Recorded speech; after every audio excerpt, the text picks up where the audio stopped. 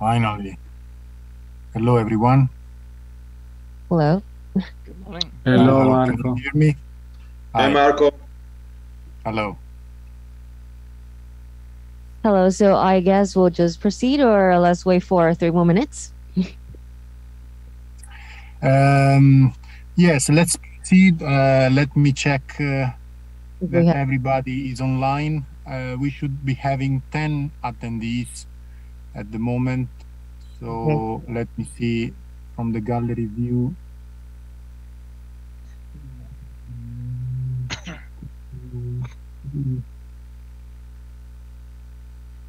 It's not, it's not easy. to find everybody online. I think we can our site. Do we have all of our speakers for this session? Yes. Does Vanessa share a mail that she cannot attend as a participant?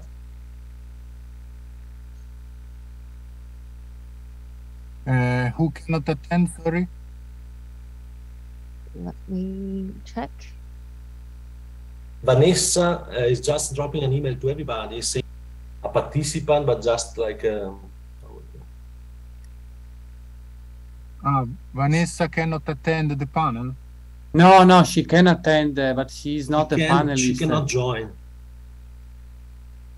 She's an Okay. attendee, not a panelist. So if uh, Vanessa can hear us, I'm not sure if she can. Basically, what worked for me was to go out, log out of Zoom, and then log in again as a panelist. Ah, you No, it's okay. You, you just giving me access. Oh. Davide, Simone, grazie mille. Ah, perfect. Hi, Vanessa. Hi. And so we're waiting for Imran. I think.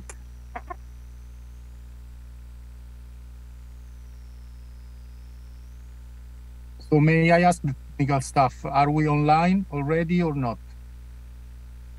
Uh, I don't think we are, right?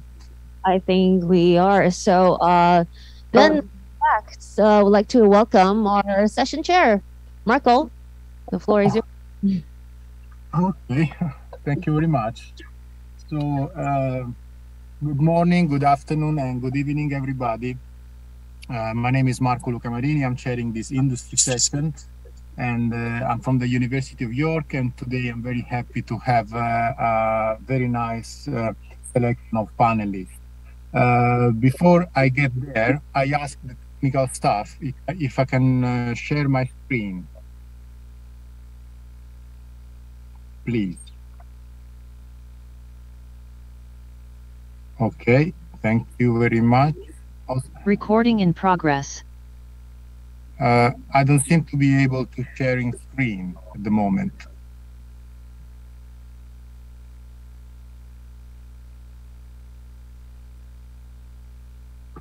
Okay, now should be better. Thanks a lot.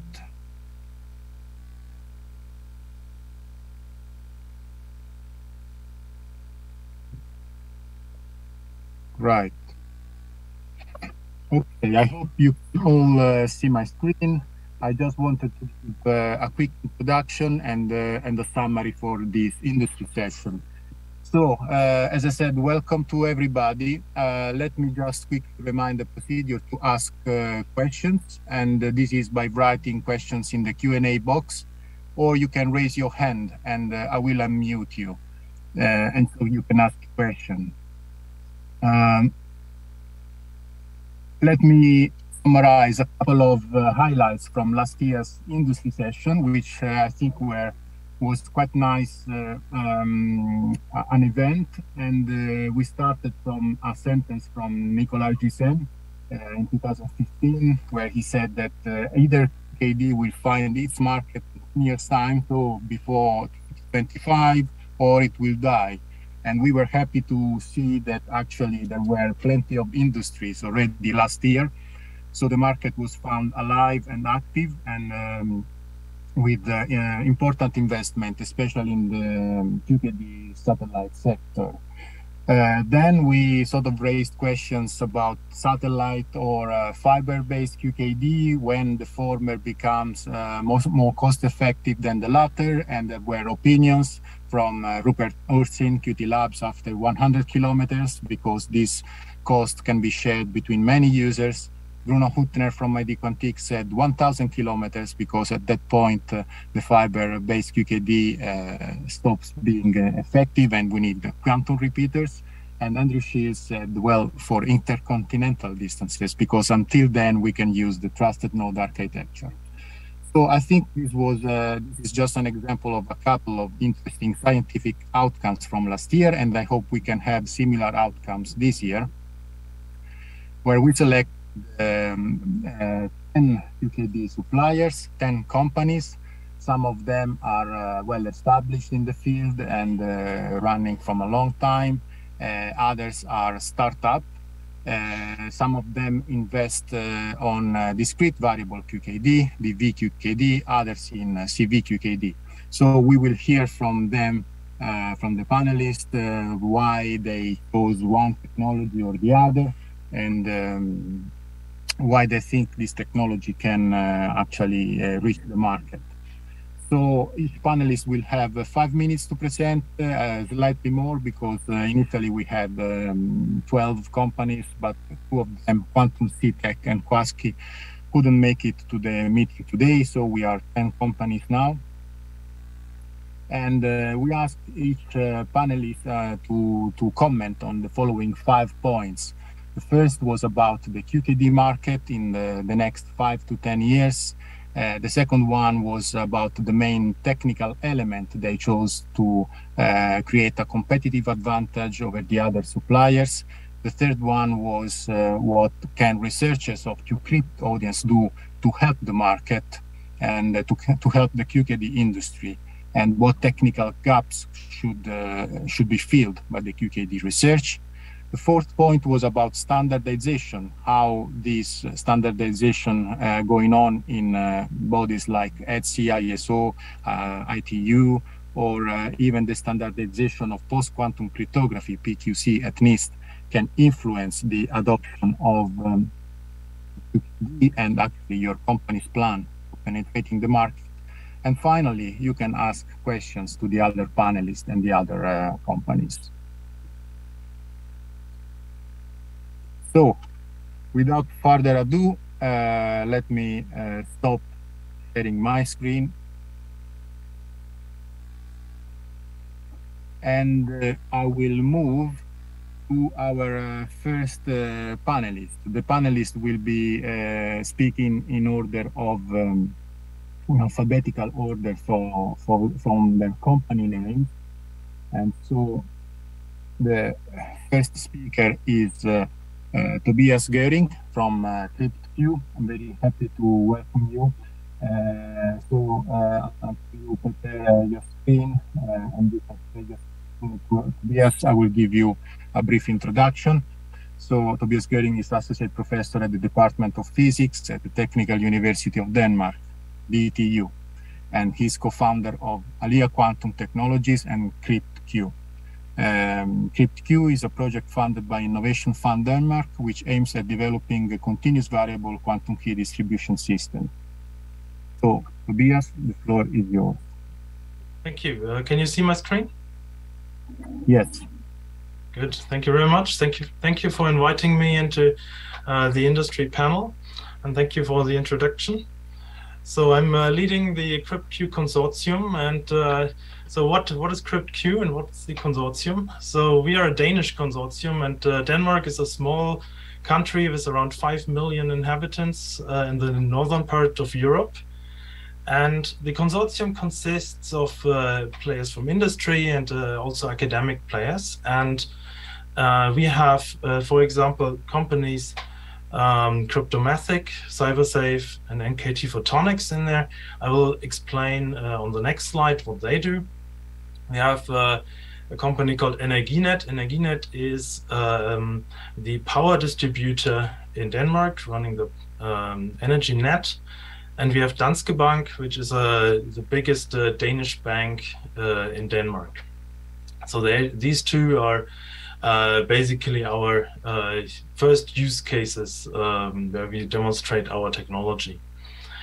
Uh, from the academic side, uh, we have uh, Aarhus University working on photonic integration and uh, the Technical University of Denmark, DTU, that's myself working on continuous variable QKD. We also have the Danish National Metrology Institute. Um, um, they are uh, experts in continuous variables as well as one of not so many uh, national metrology institutes, and uh, they are looking into validation. So what do we do? So we have a um, whole set of technology uh, in the consortium available. Um, at DTU, we are mainly focusing on developing uh, continuous variable quantum key distribution systems at the moment, they are still uh, academic systems, but uh, with the prospect of uh, commercializing them in a spin out very soon.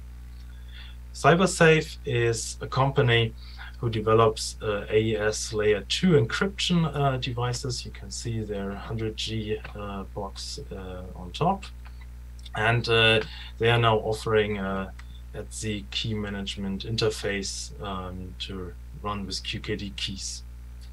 Cryptomathic is a software company. They are mainly uh, working with cryptography in the financial sector.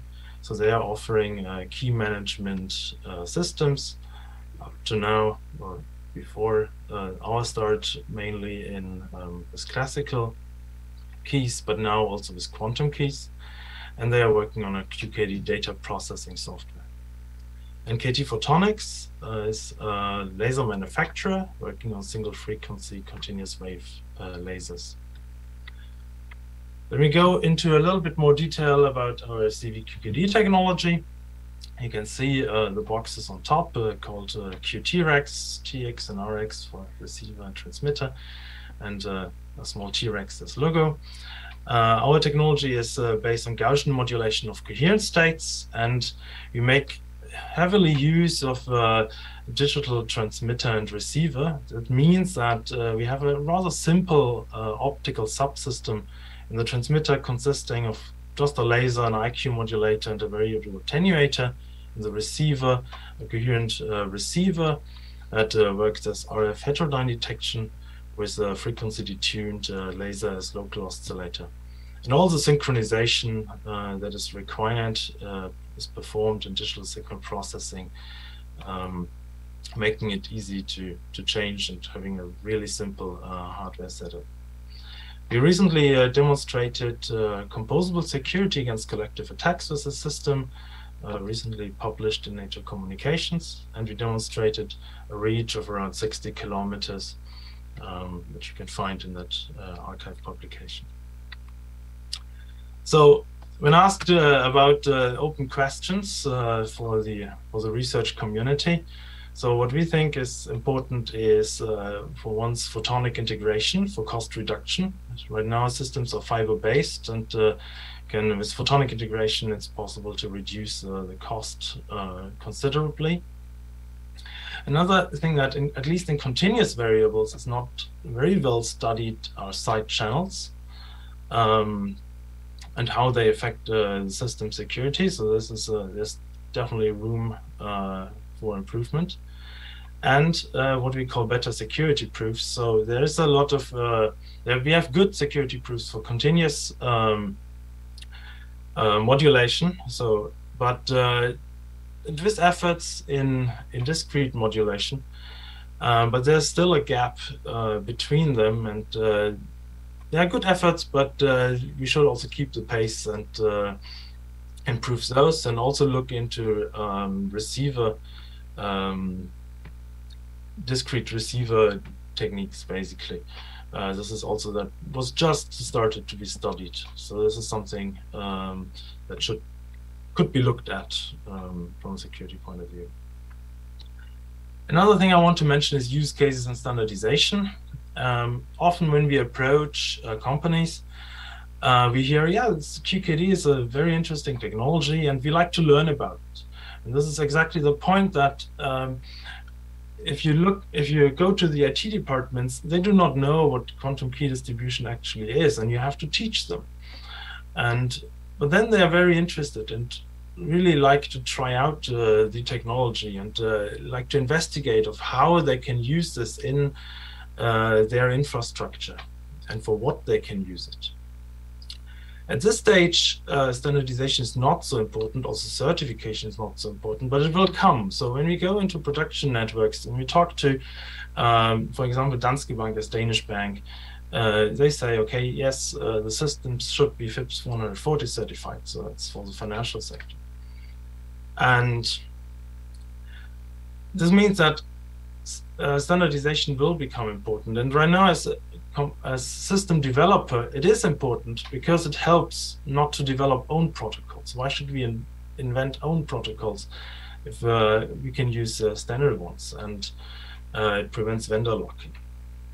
And uh, with this, I would like to thank you and uh, looking forward uh, to the panel discussion. Thank you, Tobias. perfect timing and congratulations for the little logo. Very nice. Um, also, you raised uh, good points, and uh, I am sure that the next uh, panelist can uh, also comment on some of them, because uh, he also is a vice chair of the ETSI QKD ISG. So this is very much related to standardization. Um, I cannot uh, see um, pressing questions in the chat or raised hands. Please let me know if if I'm missing some of them. Otherwise, I will move on straight away to the second panelist, um, who is uh, Momtchil Peev. Uh, he has a, a long history uh, in um, QKD. Is one of the main contributors to this field, and uh, currently he works as a group leader of uh, the Quantum Technologies Group in um, the Munich Research Center in Huawei Technologies Dusseldorf. And uh, the group developed advanced and highly flexible and stable CVQKD prototypes that are presently successfully tested in uh, the Madrid testbed and uh, within the EU project OpenQKD. So, Monchi, the floor is yours. Hello, thank you very much, Marco. Uh, do you see my screen? Yes. Okay, thank you very much. I'll try my best now uh, to be in the time. Okay, so first let me try to see how this works. Okay, so who we are. Um, so as a group, you have already mentioned, uh, this is a quantum communication group at the Munich Research Center. It is uh, a part of uh, uh, the bigger group, which is quantum and optical technologies and what is our mode of development. This is maybe important to mention here. Uh, we are strictly research group in Germany. We belong to Huawei, which is a very established company, as you know, but we operate in strict compliance with export control regulations with the European Union, which means the technology and know-how developed in the EU remains there and is not uh, exported to any other country or region of the world. Um, mm, okay, uh, and actually we develop prototypes and not written here not products and not products yeah because uh, you know, production is a different branch of Huawei so we're developing prototypes. However the prototypes are you know, intrinsically uh, oriented towards uh, let's say industry. They are QKD systems not just sec sections of it not let's say optical or whatever uh, segments and um, the stability, transportability, and installation readiness has been demonstrated, as Marco mentioned, in existing uh, uh, test beds, and uh, their performance and uh, interoperability with products of other European vendors has been proven. Yeah. So plans for industrialization and also answer to the first question of Marco I cannot give because uh, this depends on other factors. Uh, but okay, so this is how it is at the moment. We have, let's say, almost product ready prototypes, but productization is a question of the future. Okay, so the fundamentals. I just need to repeat here what, uh, let's say, uh, Tobias said. Uh, we have uh, chosen a very similar paradigm to them. So we have tried to, let's say, uh, minimize uh, at the most, let's say, the, the hardware and the optical segment and transfer, transfer everything to the logical domain where things are much more flexible and easy to do. Uh, we are doing Gaussian modulation, or of course, as you know, real Gaussian modulation is not possible, but pseudo Gaussian modulation with a very high resolution, which also, as most of you know, is completely sufficient uh, to carry the security proofs. And um, let's say the system is very flexible and it's adapted for an integration in software-defined networks uh, with uh, it, uh, and they can be fully steered, and especially the quantum layer can be fully steered, which is important for standardization, as I'll briefly mention later. The present performance is in fact, as you see, two things are interesting. As you see here, distance in kilometers at about uh, 0.2 decibel per kilometer. Uh, so, which is uh, going to the direction of 110, yeah, asymptotically even sometimes 120 uh, but okay i don't want to quote this the red, dot, the red dots are really experimentally uh, chosen uh, let's say experimentally proven let's is experimentally proven performance as you can see the rate is not very high uh, uh, especially in the beginning, and this is due to the error correction codes uh, which are used and which are adapted for longer distance. Another point is, um, which should be mentioned, is the possibility for propagation, which is a feature of um, CVQKD, and you see here the number of channels which are feasible at uh, shorter distances, and uh, here the distance and not the attenuation is important because uh, let's say the killer of co-propagation is uh, Raman scattering, and as you know, Raman scattering is a function of distance, not of attenuation. Yeah, and uh, well, demonstrate this in short. Our trusted detector noise, which is the key for the longer distances, is very low, and you can see the figure 0.3 uh, millishot noise units. Yeah. Okay. So this is the present uh, uh, part of the present testbed in Madrid, at least this part where our devices are integrated. You can see, uh, let's say, the names of the nodes. Uh, you can see our devices, which are uh, mentioned, or let's say, noted, denoted as QTX and QRX uh, uh, receiver transmitter.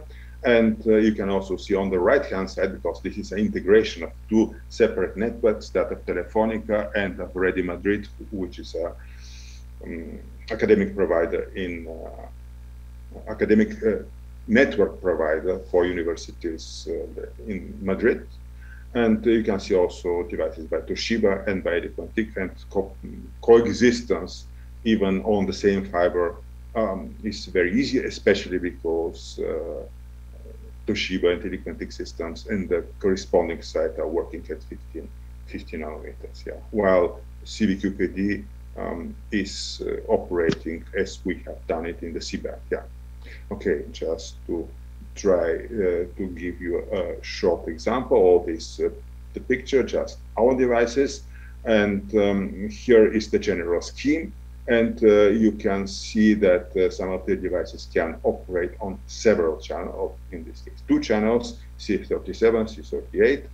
Um, let's say the distances are not high, uh, but the attenuation is terrible, as you see in a moment, which is a consequence of the fact um, that um, this is a real world network, and in real world networks, uh, things like 0.2 0.25 dB are, let's say, sounds like uh, not realistic, yeah. And uh, you can also see the switching capability uh, through these uh, switches there. As a result, just to speed up, so we can although we have uh, deployed only 10 devices, five receivers, five senders, uh, we have demonstrated many, many connections which are possible. So here is a selection of them, but in fact, all feasible connections are uh, 36 and uh, they're loop-free links uh, and they can be realized only with five transmitters and five receivers. Here the message is CVQKD for relatively short distances, like metro distances, but really big metropolitan cities, um, can uh, go um, to much more connections with much less devices. So here, switching uh, directional and wavelengths one can be essentially noted. On the right, you see a table with uh, the exact uh, performance uh, where you see the names of the devices. I mean, they're strange a bit taken from the um, so Game of Thrones, I think, uh, and uh, the, the performance of dB and distance, whereby uh, many of these uh, links operate, let's say, on the um, say medium. Uh, how the please devices will go to your final slides, please. Yeah, Um, in fact, my final Okay. slide. I just wanted uh, to mention that, uh, in fact, standardization is very, very important.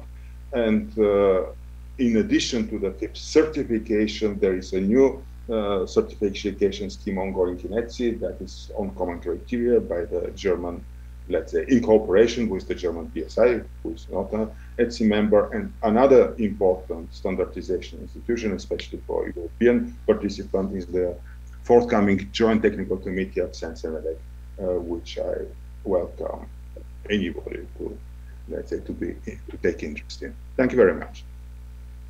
Thank you, Momtchil, uh, the nice presentation. I think, uh, uh, in the interest of time, we should move on directly to the next even because I don't see a question uh, at the moment in the chat. So, uh, the next panelist is uh, Jean-Sébastien Pegon. Please uh, start uh, arranging your screen. Thank you for that. So, uh, Jean-Sébastien worked uh, at NIST uh, for several years and then came back to Europe and joined ID Quantique in uh, 2018. He participates in business development in the quantum security divisions, which develops uh, next generation quantum safe solutions and especially quantum key distribution systems. So, Jean-Sébastien, the floor is yours. Hello everyone, hello Marco. Uh, can you hear me okay? Yes, perfect. Thank you, thank you uh, also QCrypt organization um, for this great hybrid event. So I imagine most of you know uh, ID Quantique. It has been fo- founded 21 years ago as a spin-off of uh, Geneva University from uh, Nicolas Gisin Group. And the CEO is Grégoire Ribordy, one of the founders. Uh, IDQ has been focusing on developing uh, products in quantum sensing and quantum security. In quantum security, IDQ propose uh, two families of products, QNG chips, QNG and QKD, uh, the topic of today. And we go beyond uh, QKD point-to-point uh, deployment now. And this is the topic uh, of, of this presentation is around QKD networks, using QKD products that we have developed uh, over the years. Um, so our objective effectively is to be able to um, deploy uh, QKD networks and it means to add uh, QKD to existing uh, secure data uh, networks. Um, so we can map uh, existing network topology and distribute symmetric keys to any nodes of the network. Um, in order to do that, we use uh, mainly two products today in our portfolio uh, which I will introduce. Uh, the Cerberis XG targeting access connectivity on last mile, and um, the Clavis XG uh, offering longer range and uh, higher key rate for backbone connections. So in terms of uh, Cerberis XG, as a snapshot, it's um, a very compact, uh, integrated device, integrating the QKD and the KMS layer uh, offering uh, C-band and O-band up to 18 dB. Um, and we recently announced uh, and launched the Clavis G. So the Clavis G um, is using the same hardware um, uh, chassis and KMS layer, but a different uh, QKD optical layer. So it is based on uh, BB84 uh, decoy states, offering um, higher range and higher key rates than, than the Cerberis XG. this is not only about uh, so the QKD layer, but also, of course, the KMS and configuration management uh, layer. So Uh, the KMS layer is integrated um, can, uh, in the QKD uh, node, so part of the device, and we integrate um, with the um, SDN layer and configuration monitoring, which is very important for, of course, to um, configure and manage the networks. We follow um, the standards, of course, um, from ITU sea, um, for example, and we integrate um, with uh, the different layers implementing um, various interfaces. So you, you can see on this slide the interface um, proposed by ETSI, KD0, 15 and 18 to, to the SDN layer, 14 to the consumer layer, uh, draft uh, interface uh, for external KMS or third-party KMS, um, and of course to the QKD KD layer. So the objective and uh, is to deploy networks. So we, we started already a few years ago, and these are recent example of network deployment. Uh, so in Poland, we deployed a 380 kilometer network with um, PSNC, and it's really interesting to see how they were able to deploy and configure uh, on their own um, this this network uh, uh, in in Poland. So if you want to have more details, of course, on all this example, uh, feel free to contact us offline.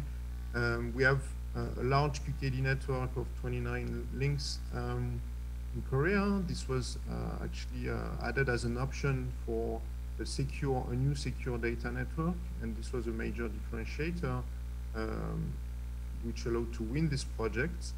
And of course, in Europe, it was mentioned by Momtchil, and we we are we have started this open uh, QKD uh, phase uh, to build this EU PCI network. So we provided 16 QKD pairs, and it's just the beginning of the EU PCI journey, which aims at being fully operational by 27.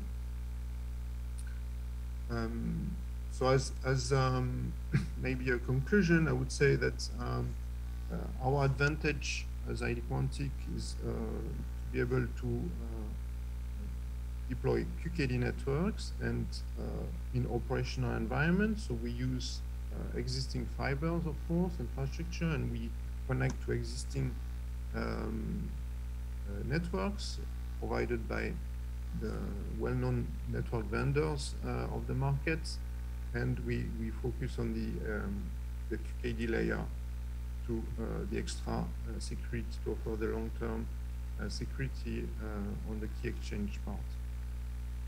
Of course, we combine it also with the encryptor that support QRNG and, QC, for example, uh, we enter work with Thales, we implemented uh, and PQC, um, and adding the KD layer and the KMS layer, as I said. And the main focus on our, our side, as you understand, is that uh, our customers are fully autonomous to configure, operate um, uh, their, their, their, devices and their network, and they benefit from um, updates, release, and new features as we develop them um, along the quarter.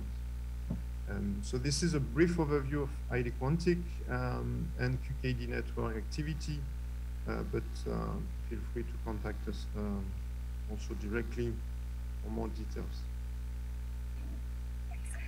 Thank you, Jean-Sébastien. Uh, that was very on time. And uh, do you follow a standard also to integrate uh, QKD and PQC? Or, um, yeah. So yes, effectively. So uh, on PQC side, there are two two aspects. I would say is the the, uh, the main one is the uh, PQC um, implemented by our partners. So on the on the net secure network device. Um, so they replace or they add, let's say, RSA key exchange to this, um, this PQC uh, algorithm that were recently announced uh, by NIST. And also, of course, uh, the use of PQC within the QKD um, devices for all, let's say, external communication. Uh, uh, it's important, of course, that we are also we implement this crypto agility to make sure our QKD device also can can leverage PQC for all classical communications. Okay, and um, there is also a question from um, the audience, uh, which can be more general, I think, than uh, for ID uh, only, so can be related, relate to all the panelists. From Hoi-Kwong Lo, is there any plan to move beyond trusted relays design in the future and to, to do, for example, MDI QKD or other protocols like sharing?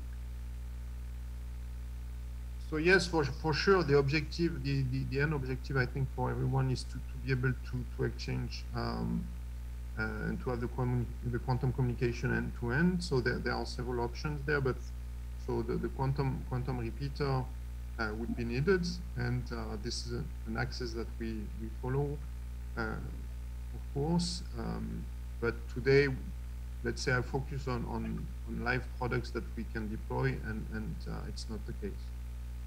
And uh, for a measurement device independent QKD, are there plans in ID Quantique? So I, I won't disclose all details of the roadmap, but um, as I said, for sure we we we need to, and we follow uh, all innovation related to QKD um, from the community as well, and uh, we'll disclose the, the next generation uh, probably uh, probably uh, in the coming months. But uh, for, for now, I would say we focus on DVQKD. This was one of your questions. We focus on DVQKD today and product that can be deployed live in, in data centers and um, headquarter enterprise uh, site. So that's that's our focus. Okay, perfect. Thank you very much, Jean-Sébastien. And uh, I'll move on to the next speaker. And uh, thank you which is from Ki Quant. I'm not sure I pronounced it well, uh, but Imran can correct me if I'm wrong. So the next speaker is uh, Imran Khan. and he is, has chaired the OpenQKD project that was mentioned in a previous presentation. And uh, he participated in the steering committee of the quantum flagship project CiViQ, as well as well in, in other EU projects. So he is one of the founders of the uh, Quant uh, company. And in his role of managing director, um, he is driving the vision of industrially scalable quantum cryptography through the photonic integration of CVQKD. So Imran, the floor is yours. Thank you. Can you hear me? Yes. Perfect. So let me try to share my screen then.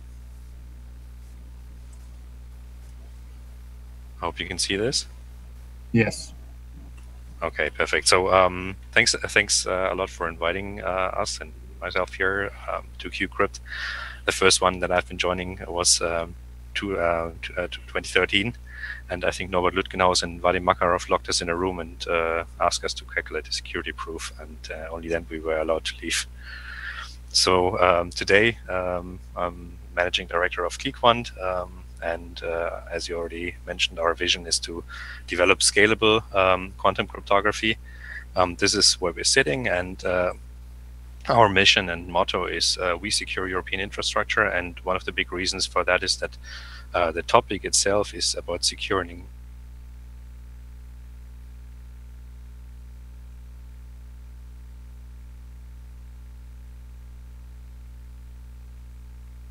markets that are maybe divided uh, among continents right now. So uh, we focus in Europe, and one of the uh, main aspects of our company is that we're 100% EU funded by local business angels, uh, and in, intend to to stay that way. That's why uh, we want uh, to secure European infrastructure in the future. Um, our scientific heritage is with the Max Planck Institute for the Science of Light in Christoph Marquardt's group, and as was already mentioned, we participated in a lot of public projects, both on the national and EU level, and also contributed to, to the community by, for example, uh, doing the first 10 gigahertz uh, CVQKD experiment. Um, I think it was back at QCrypt 2000, uh, 20, 2015. Um, now, uh, we're currently building a strong team. Um, so we're, we're, carefully selecting um, who uh, can contribute and uh, trying to building a, an environment that's lots of fun um, to work in, and uh, we're looking for new people. So if you're interested, please contact us. Um, it's a mixture of uh, tech people and business people because, uh, as was already mentioned, there's a lot of need to develop the market and uh, develop into networks um, rather than just uh, having a single QKD system somewhere. Um, you asked about the, the future market, and uh, we see that um, first customers are inquiring about um, the solutions that are available now. And of course, the, the Digital Europe program is giving a big market push um, to the European ecosystem in terms of um, procuring systems for the national test beds that are coming up in the next few years. Uh, we expect uh, this market to grow uh, a lot uh, with uh, photonic integration and with the market coming out of the, let's say, governmental push into a real commercial market. And the final market size we expect for now for the EU market is about 3 billion and probably can scale that somehow to, to, the to the world size. But maybe other companies have a better idea about that. Um, um, another question that was asked is um, what makes our company uh, unique? What's our special advantage? And we also use uh, CV QKD, um, and uh, we have a, a, a, product in development right now, which is a QKD system in a 19-inch rack box. But I think the main point of the company is not to develop another 19-inch rack box, but rather to go to something that's a lot smaller. And um, there's a few aspects coming with it. So um, smaller, I mean, size is, is the obvious one, but of course, if you go towards photonic integration, there's uh, there's also a cost aspect.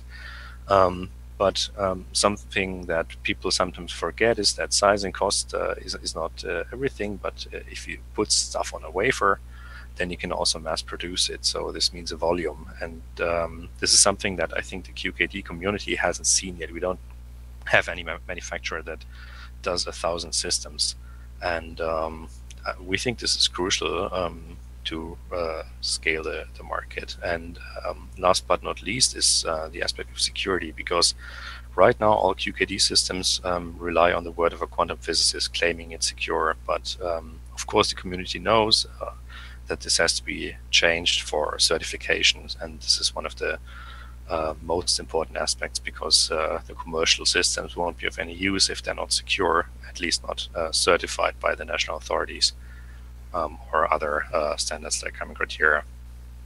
Um, besides that, we also offer a, a, vendor agnostic key management system that kind of uh, sits in between QKD systems and encryptors and doesn't care whether the QKD system comes uh, from one or the other company or whether the encryptor is from one or the other company. The idea is to um, uh, enable telecommunications uh, providers um, to have their own KMS network and then just procure whatever other devices they intend to have.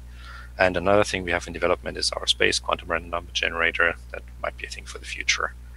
Um, now, the to-dos for the research community um, is develop standards so we can have certification. Tobias already mentioned this. We want to make uh, the security proofs closer to the real devices. Um, I think it's important to explore use cases uh, for QKD to learn uh, new aspects uh, for research, since um, this will open up new fields of research. Um, and also there's uh, a need to develop new protocols to increase the general performance. And uh, finally, um, the existing standards are good, but um, we need a more concrete uh, implementations of those in order to learn about their security requirements. Yeah, with this, let me thank you for your attention. Thank you very much, Imran, uh, for a very effective talk. I, I finally see some cost on top of QKD devices, not only diagrams. And um, can I ask if you have already started the process of integration that you mentioned in your talk? And also if you think that integration helps security, I mean the practical security of QKD or not? Uh, the first chips are going to be here soon, uh, hopefully, if the foundries uh, manufacture them in time. Um, so uh, this is started, and uh, back in our scientific days, we also collected some experience um, working on those and um, essentially operating all the, the, the, single building blocks on these devices, like lasers, modulators, and so on. And uh, on the electronic side, which has not to be forgotten, we also have uh, a very nice development which integrates a lot of the processing functionality on our own um, um, let's say, highly specialized telecom electronics. Um, and in terms of security, that's a tough one. Um, I think in principle, it, it, it uh, starts with a question of supply chain. Um, so can you trust the devices that you're using? But I don't think the optics is really a problem in the supply chain because uh, it's mainly electronics that you have to be sure that it does the right thing, right? So um, probably the optics is not as critical as, as electronics would be. And then if you go towards uh, integration onto a, onto a single chip, um, um, and if I mean maybe you've, you've seen it on my slides, um, there was the word quantum pluggable mentioned, which is a good concept uh, borrowed from telecom. But the question is, can you certify these things independently, like a QKD host system, and then let's say a, a, QKD hardware that does whatever it's supposed to do. I mean, it doesn't matter if it's CV, QKD, or DV, or whatever inside that pluggable. It just has to be mm-hmm. certified. And what I learned is that in principle, there are mechanisms to certify these independently, but um, this has to be explored in detail. And maybe this is the right way to go, but we have to find out as a community. Yeah, a good goal for research, good target. Let's see. Thank you very much, Imran. And um, now I'll move on Thank to you. the next speaker. Uh, he should be uh, from uh, KETS, KETS Quantum, and, but I cannot see him among the, the speakers. Perhaps I'm wrong. Um, Robert, Robert Starkwood. Robert, are you there? Can you shout if you are? No. Or, wait, no. I don't seem to. Oh, yes, in the chat, Robert writes, I'm here, but uh, I guess we cannot. We Yeah. I think you should basically log out and in again and log in as a panelist, Rob. So uh, I'll give you time to do that. And uh, for the moment, I'll move on to the next speaker then, and then we go back to KETS as soon as possible. Okay, so right then, um, I'll move on to Vanessa. Um, so um, from Lux Quanta. Uh, Vanessa Diaz is business developer director at Lux Quantum, where she leads uh, the activities related to market development, customer engagement, and strategic partnerships. Vanessa, the floor is yours. Thank you, Marco. Hello, everybody. It's a real pleasure being here with you today and sharing some news uh, about the QKD state of the art. Um, so I prepared. Are you hearing me? Yes. Okay. Yes. All right, so let's crack on. Um, what I've brought here is actually a picture of a quantum computer. We always lead with that. And it's actually one of the reasons why QKD hasn't gone away completely. Not at all. Actually, it has a promising way uh, moving forward. And it's because this technology is becoming more a reality. The level of investment across the world is uh, rising crazily. And we, have, we have been all these years be- be- because of that a little bit in the shadow.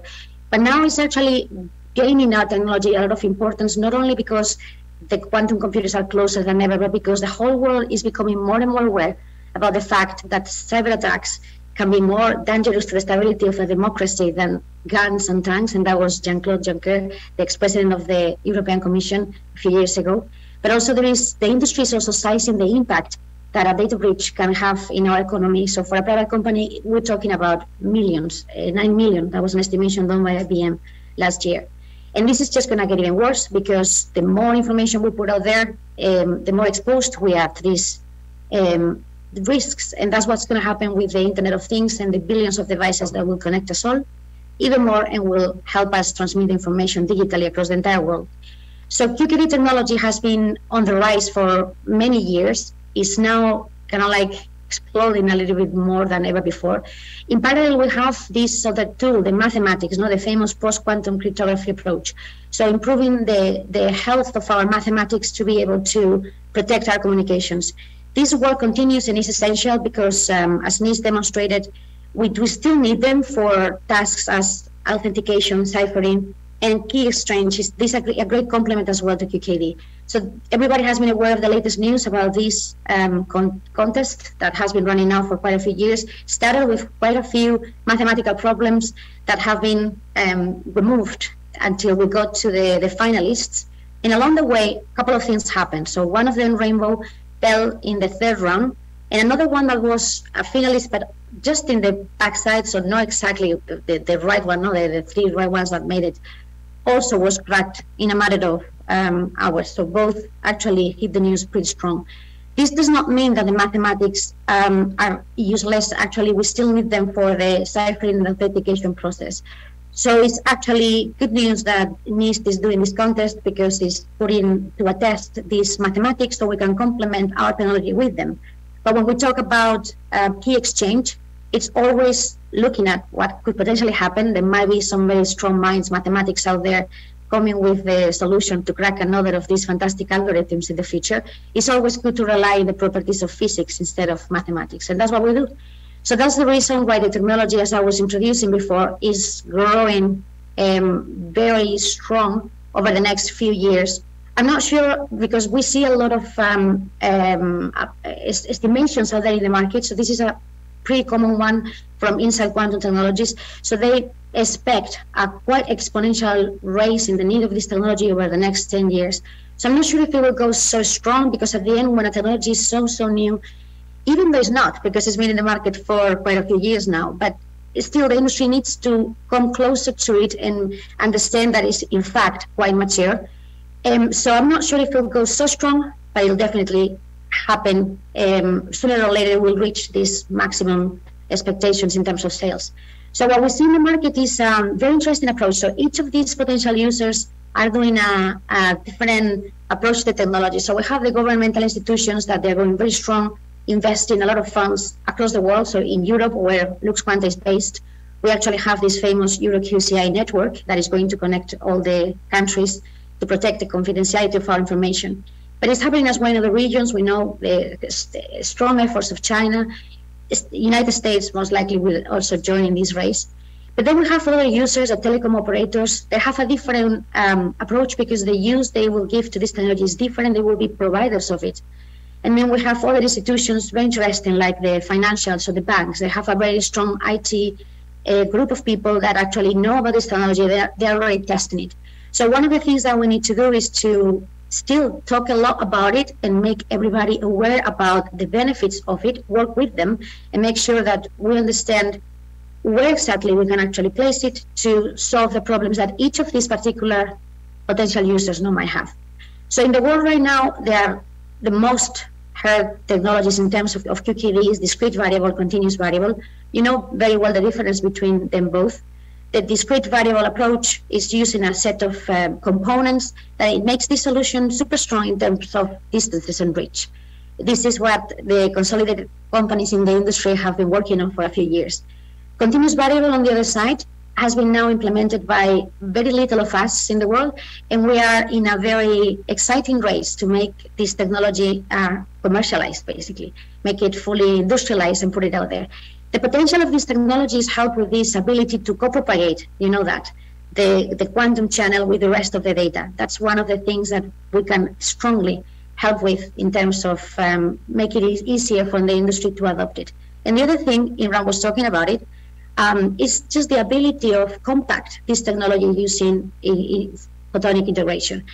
This is going to be another big game changer because we can help a lot to um, make this technology more affordable, more like a, a um, commodity kind of thing that can be used by some other, let's say, um, users like the ones that you saw before that might need to deploy it more in a mass scale.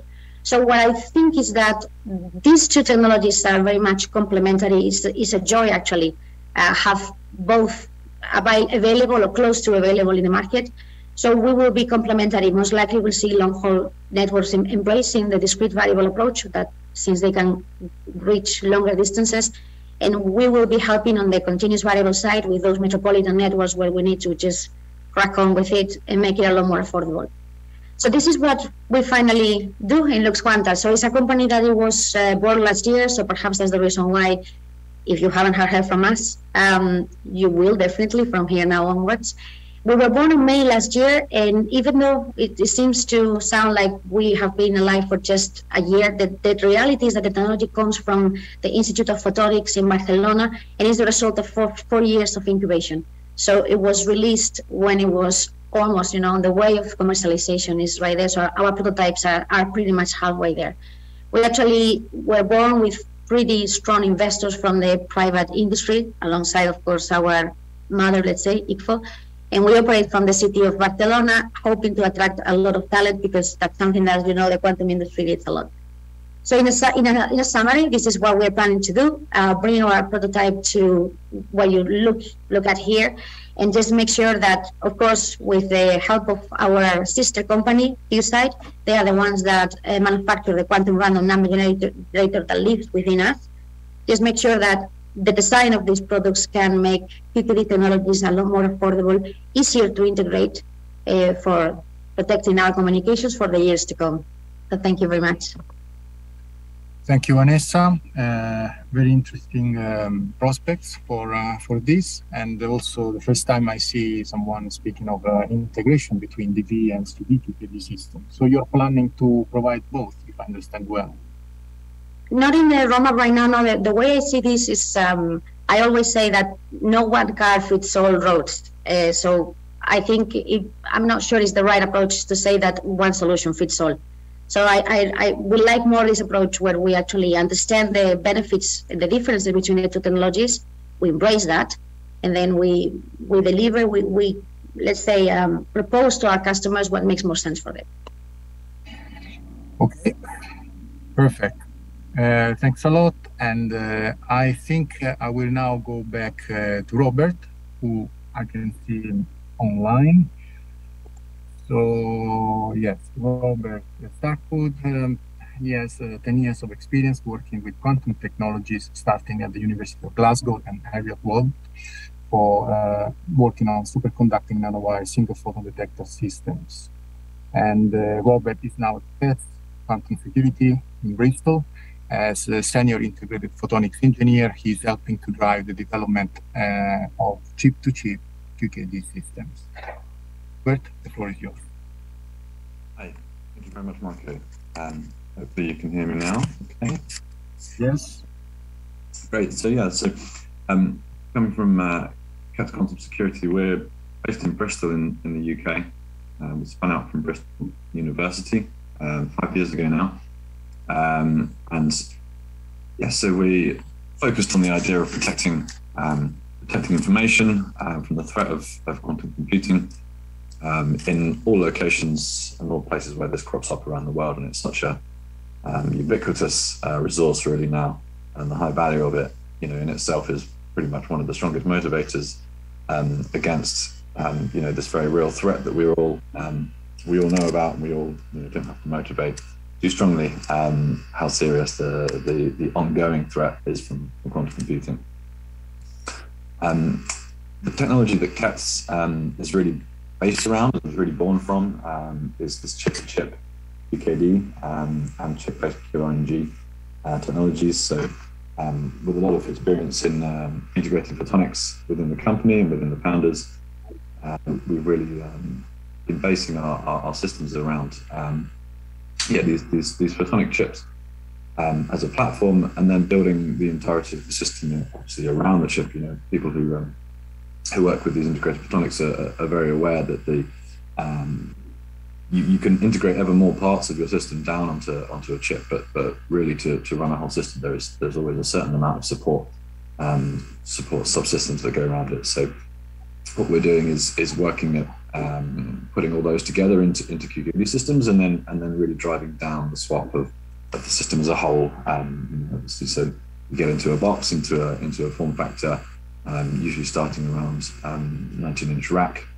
uh, and then pushing down towards smaller and smaller form factors. So you can see here pictured um, our QRNG product as well as our key distribution uh, in their current forms um, and pushing down to form factors such as the, the PCIe form factor and the QRNG. That really helps to, to get integration down and, and, and SWaP down into, into a size that, where you can not only manufacture uh, faster and cheaper, um, but it's it's perhaps easier for customers to see um, how easy it can be integrated or, or, or integrated in large numbers and deployed at scale. Um, the uh, yeah, so these, these are our two main products um, at the moment. So the uh, QRNG has its own uh, uses, so you can you can have those on their own to, to be sources of um, of, of, uh, of, quantum entropy, uh, aside from from doing actual key exchange. Um, but then obviously those can be contained within the QKD system, and at the moment we're uh, deploying those in the rack mount form factor um, for doing uh, QKD. The this uh, photo of the, the QRNG in action there, just inside the, the, the chassis of the PC. Um, said, the, the, the, we aim for low SWaP and, and, and, low size, and, and, the I guess the, the point that comes with that is that we're talking about gigahertz rate of um, of, of, production of, of entropy here. So um, we can use them as a resource perhaps for things like um, virtual machines and, and for, for in a data center environment, you can be serving entropy uh, to, to a large number of customers really at a, at a sort of uh, a large as a, as a product or service. QKD system, um, probably don't need to explain QKD system to too many people here, but um, currently sits in, in, this right now. And uh, again, it's, it's, it's used for, it's a DV QKD system. We're doing chip to chip QKD um, and uh, within within each box, we've basically got the full full transmitter in, in the 19 inch rack and then the full receiver as well. So so we've got a um, you know a, a, receiver chip and, and detection and, and, compute all happening in one place. Um, just going to show you a quick couple of the use cases we have demonstrated so far. Um, this, uh, I guess, helps to highlight the low SWaP um, elements of, of, the system. So uh, we're able to fly uh, a system on a tethered drone, um, and this is where you basically put the, the whole TX um, onto this platform, which which can fly, enabling line of sight and some free space uh, options for it to be done. Um, and then the, the, drone itself is tethered so that you can use a, a fiber optic link um, down to, a, to the QKD uh, receiver. The the applications of the of the QRNG, as I said, also um, span um, or allow it to integrate into, into, other types of systems as well. So, so we're not just doing um, quantum uh, key distribution, but uh, we've um, been able to show a, an integration with a PQC system, uh, which allows these quantum safe certificates, which actually integrates uh, the idea of quantum safe entropy into a sort of broader, more applicable security environment where you're using authentication and, and such like from PQC um, and that really talks to uh, yeah sort of deeper integration into a into a crypto ecosystem, which is you know often when when a customer is looking for a you know they're looking for a secure solution. They're not saying to, to us we specifically want it to be QKD. So the idea of, uh, of that broader integration into the system sort of helps to to let the the, the, the quantum products find their place. Um, another very important element that we think uh, is part of this, you know, is, is, is um, certification and, and, verification of the products. And so um, uh, we're, we're, currently on a, on a, working on this AccuRAN project with a, um, other companies in the UK uh, and beyond, where we are, uh, yeah, looking again to, to expand and improve the ways in which certification and standardization um, can can promote uh, the products because you know I, I think we'd all agree strongly that the right the right standardization, the right the right certificates give a huge amount of confidence to mm-hmm. uh, customers and to deployment uh, in order to allow us um, or in order to encourage people to, to, to take up the, the, the, products rather than needing to rely on the say so of uh, your you know your favorite physicist or whoever you can access for uh, uh, expert advice. Um, again, this um, I think this project's already been mentioned a, a few times, but the the, the QCI project, which is a which is a wonderful large scale project about deploying systems and testing them in the, in the Paris metro area. And again, we're putting some equipment in, into the uh, into that project.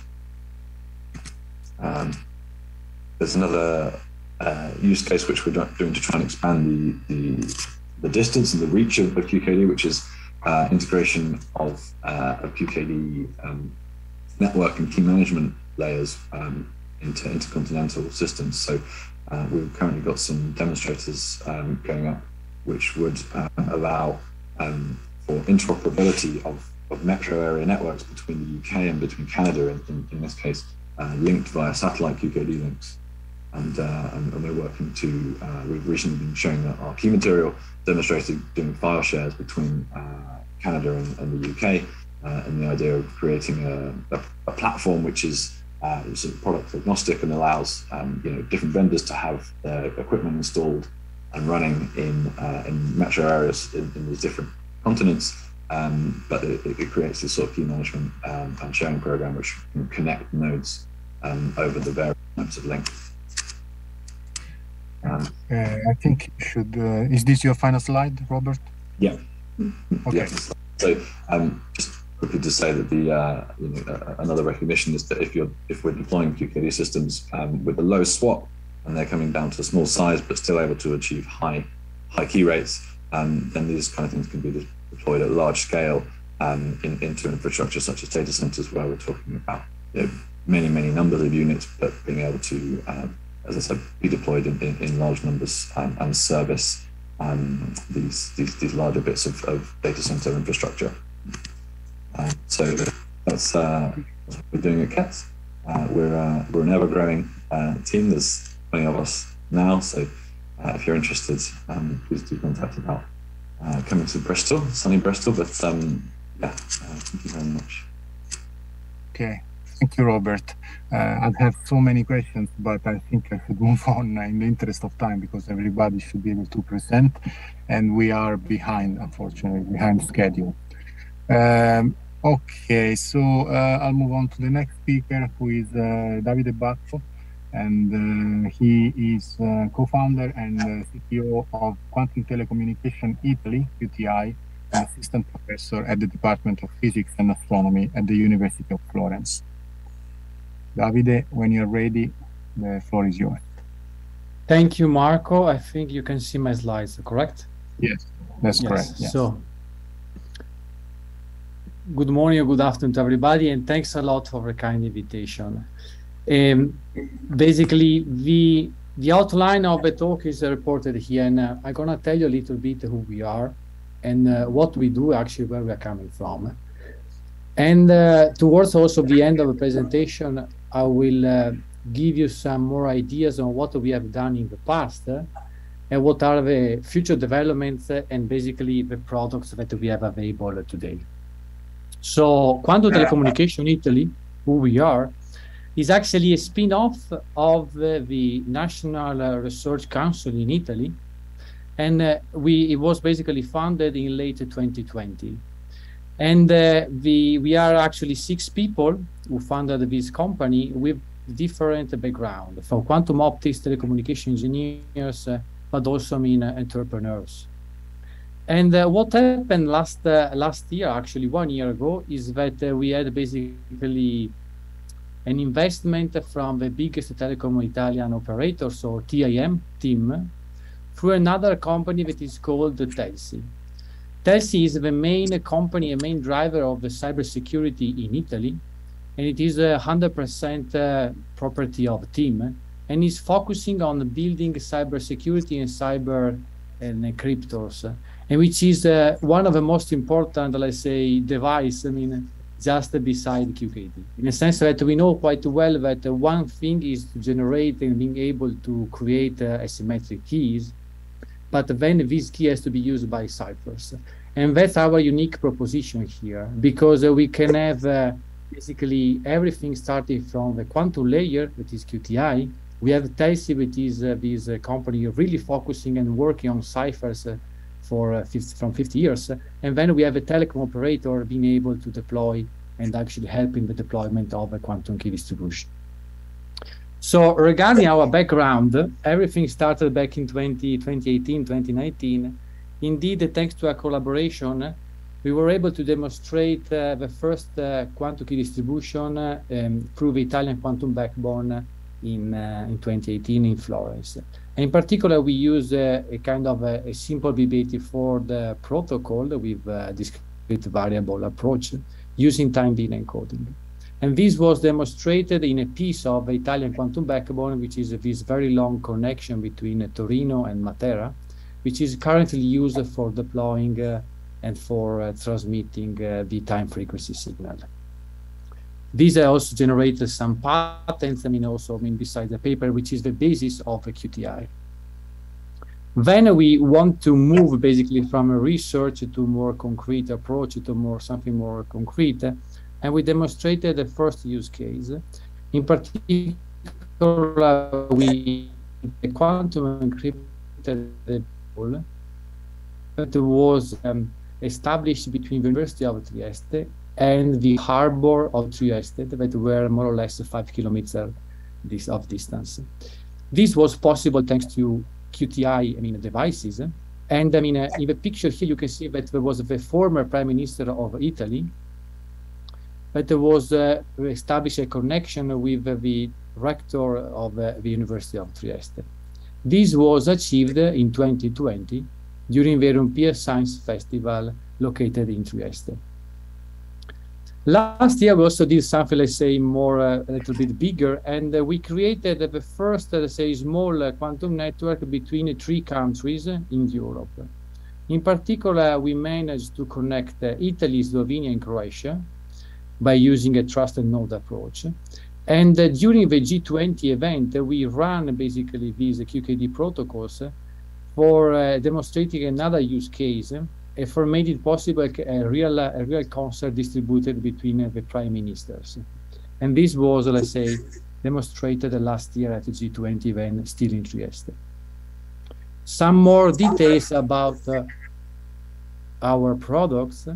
In particular, here you can see the current brochure. And uh, we currently have three different type of products. Uh, the name of our product is called the Quell X, and uh, it's divided between, let's say, the different uh, specs. In particular, Quell X, I mean, is the first product uh, it is able to be to distribute quantum keys, and it can be connected. Can be connected to other um, to all the different type of ciphers.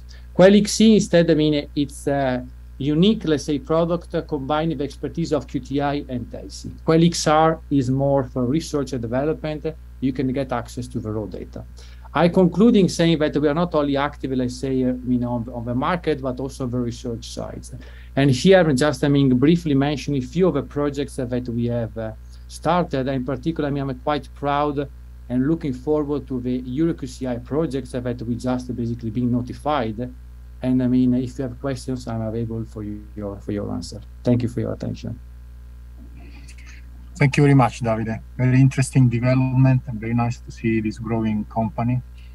And uh, the next panelist is uh, uh, also from Italy, and uh, I will move directly on to him because time is short. So, uh, Simone, if you can uh, start preparing your screen. Simone Capelletto is co-founder and CEO of Think Quantum SRL, startup and spin-off of the University of Padua providing quantum solutions for cybersecurity, such as fiber, free space, satellite QKD platforms, and high-end QRNG devices. Simone, when you're ready, the floor is yours. Uh,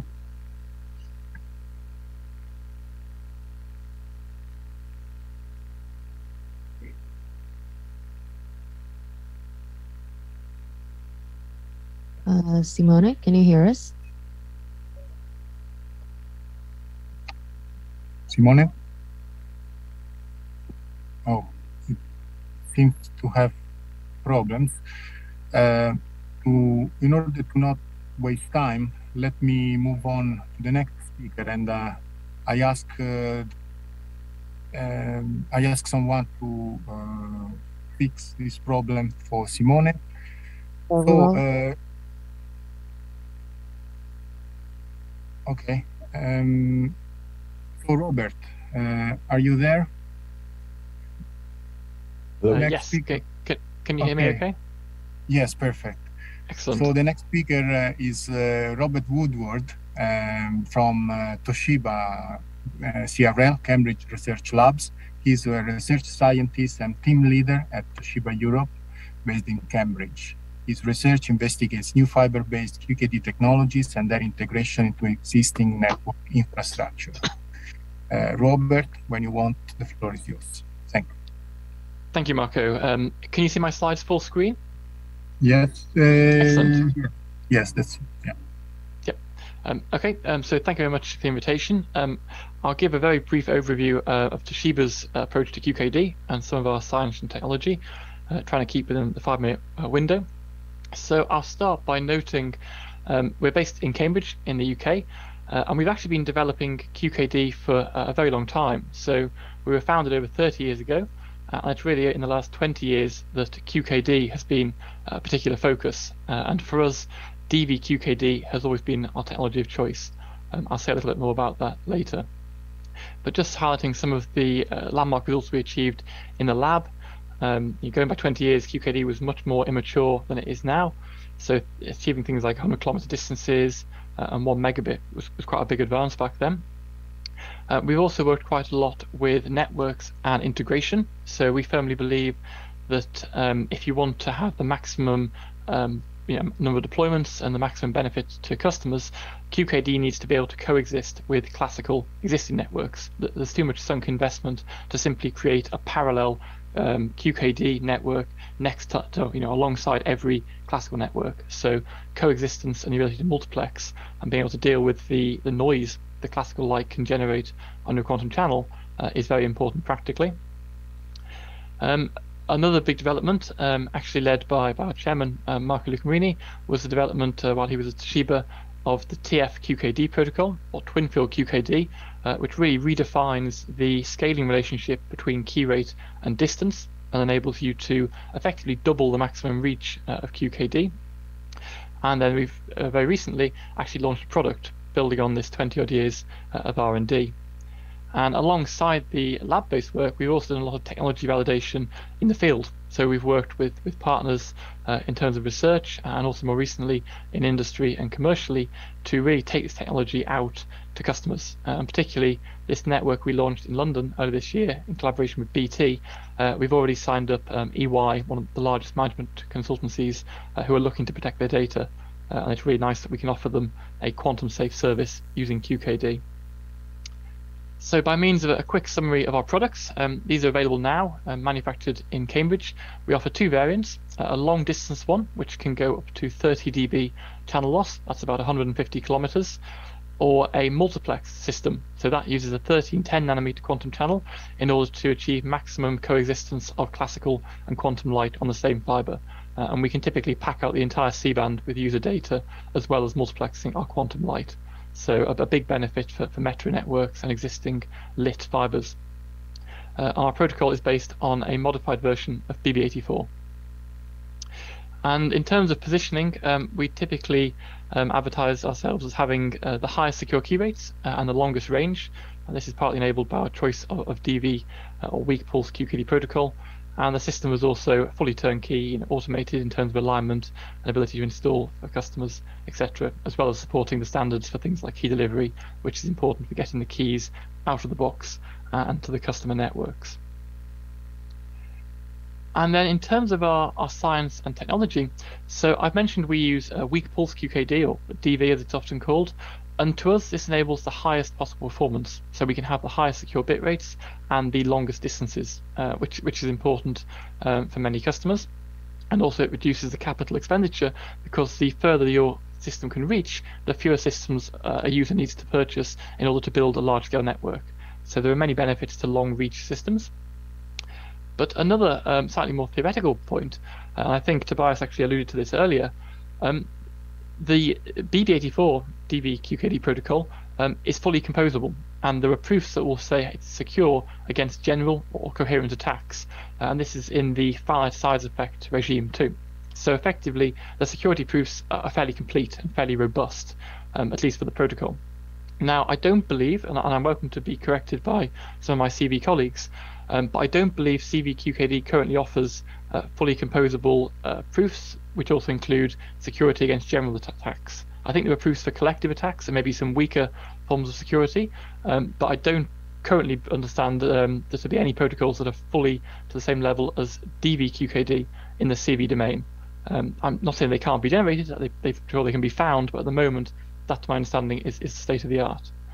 And finally, two recent advances we've been working on at Toshiba. So we've taken the twin field QKD protocol to over 600 kilometers uh, distance. Uh, I believe there's a paper at QCrypt this week showing it going even further than that using the twin field protocol. And we're also working on photonic integration. So as the other speakers have commented on, this is a fantastic route to mass manufacturability, large scale, uh, you know, reduced size QKD. Uh, and this is an example of our chip, the size of a, a finger. We've, we've, built chips for all the elements of QKD uh, and put them into a pluggable module. And if you refer to that paper, you can see the full system operating. So finally, uh, Marco asked us to reflect on what can the community do to, to help industry and to see, keep this technology um, you know, going forwards. And I think for us, there's still a lot of interesting opportunities for science technology. So quantum repeaters need to be developed still, quantum memories, the scope for new protocols, new optical designs, uh, and also interesting questions about how do you grow this to build larger and larger networks. So I think the industry is in a very good place, and there's a lot of uh, interesting science still to be developed. So thank you. Thank you very much, Robert. Uh, very clear, impressive, and uh, on time uh, presentation as usual. Um, there is a, a very uh, direct question from Hoi-Kwong Lo. Uh, you have the right uh, to to answer your way. but he asked: What is the price of Toshiba QKD system? um, um, I, I, can't comment that. I'm, I'm, afraid, but I will make a general comment that, as with all technology, uh, be it, be it QKD or otherwise, prices typically start higher and then reduce as the technology matures. And we're also, as many other companies are, working on ways to reduce costs. For example, photonic integration, I think, is a, a fantastic route to large-scale, lower-cost um, technologies. So hopefully okay. that's a we say that, in an interesting way. Can we say that the figure presented previously by Imran Khan in the order of 100k uh, something uh, pounds or euro is uh, about right? I, I, think that magnitude would, would seem reasonable, but yeah, I, I can't comment further, I'm afraid. Okay. And uh, there is another question uh, that uh, very quickly possible. I also had this question basically when you presented the long distance and the multiplex protocol, they seem to have the same resistance to losses, 30 dB. So also yes. the multiplex protocol goes to the same distance as the long distance system. Um, they go to the same loss, but because the multiplex system is based on a 1310 nanometer quantum channel, the loss of silica fiber is higher. So the loss of silica at 1550 is 0.2 dB per kilometer. At 1310, it's about 0.31 dB per kilometer. So the maximum reach with the multiplex is about 100 kilometers compared to the 150 kilometers with the long distance system. makes sense. And the repeating rate of the of the system is always one gigahertz, right? The, the clock rate is always one gigahertz, correct? Okay, perfect. Thank you very much, Rob. And uh, let me move on and actually go back to Simone, uh, who had some technical problem earlier on, but now he's with us. So Simone, I already introduced yeah. you actually earlier on, so yeah. I will uh, yeah. directly give you the floor when you're ready. Thank you, Marco, for the invitation and all the committee. And uh, can you hear me? Yes. Can you hear me now? Yes, I can. Okay, so thank you for inviting us, and uh, let me show briefly make an introduction of who we are. So Think Quantum is quite new, but comes from uh, uh, again as uh, many industry in this uh, this segment comes from uh, university.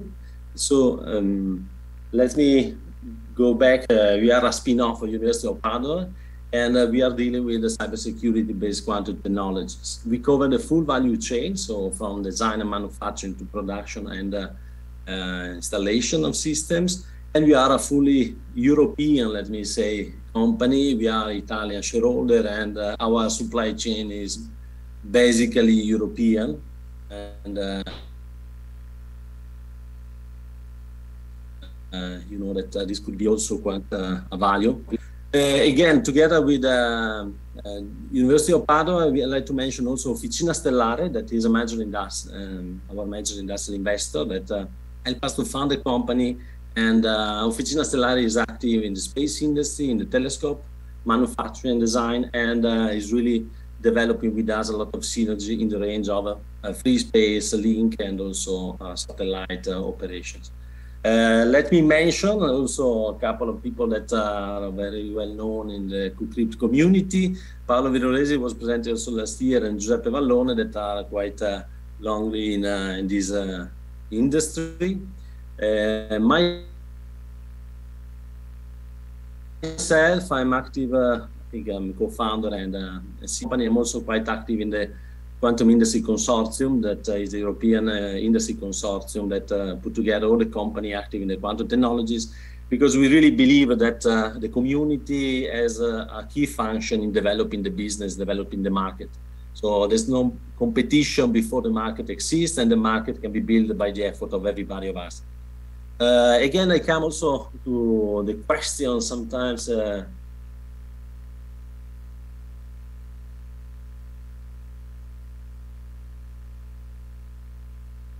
of Marco during my presentation, also the development uh, of the industry of uh, quantum communication. Anyway, uh, we have different signs and different metrics that give us the indication that the market is growing exponentially. Uh, on the other side, the key, and so um, one question was how is the growth of the market? We know that there are different studies that uh, target to have in 2030 1 billion up to 5 billions. There was also quoted by Vanessa at the beginning of his presentation. And finally, we really believe that the, the key part, the key, um, the key aspect is the timing, because this is something that is uh, movable according to the effort and the development of the market. So we know that the size will be huge of the industry,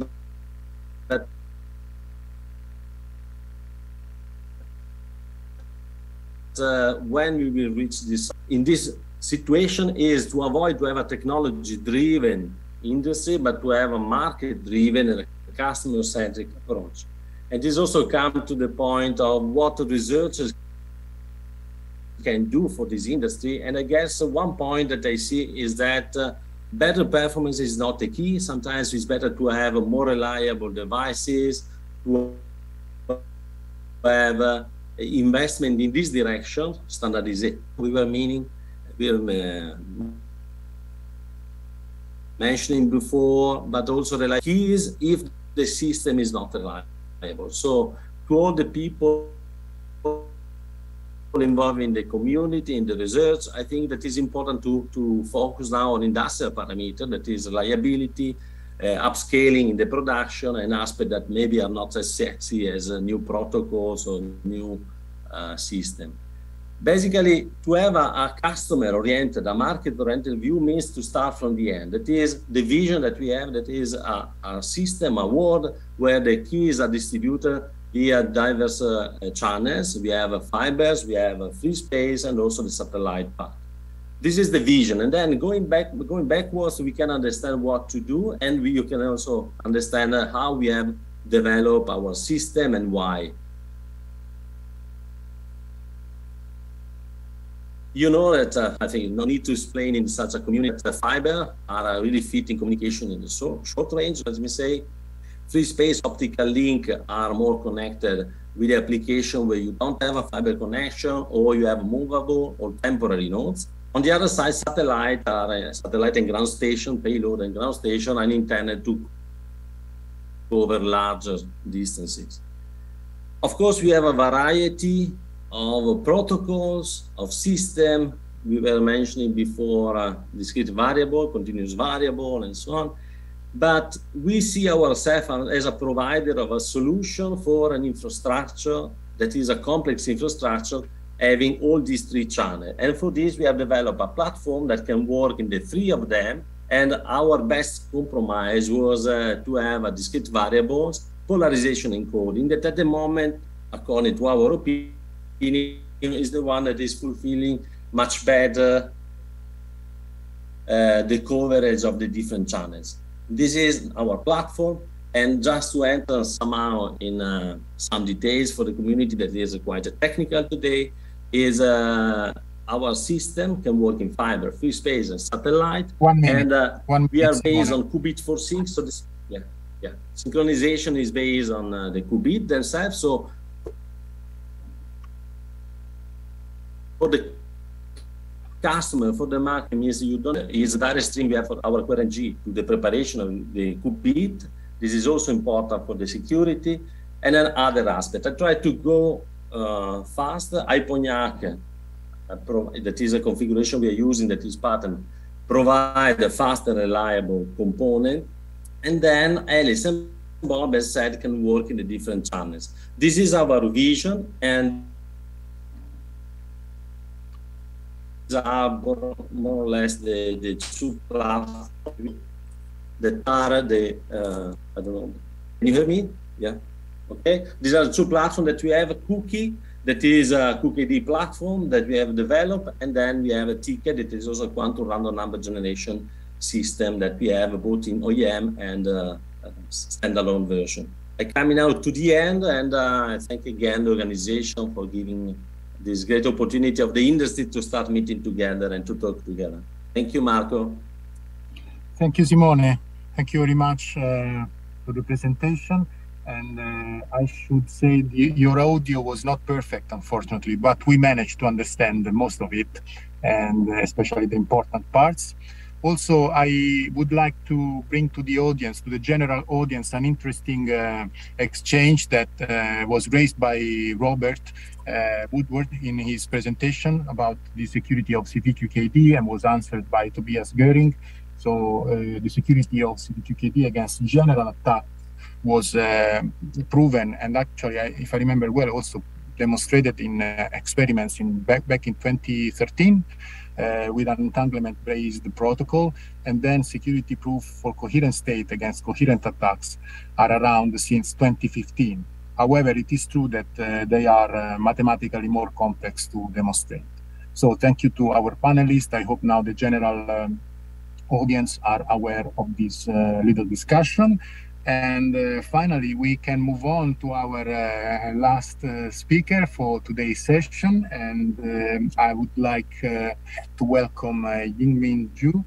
And um, he, he is a senior vice president of XT Quantec Co.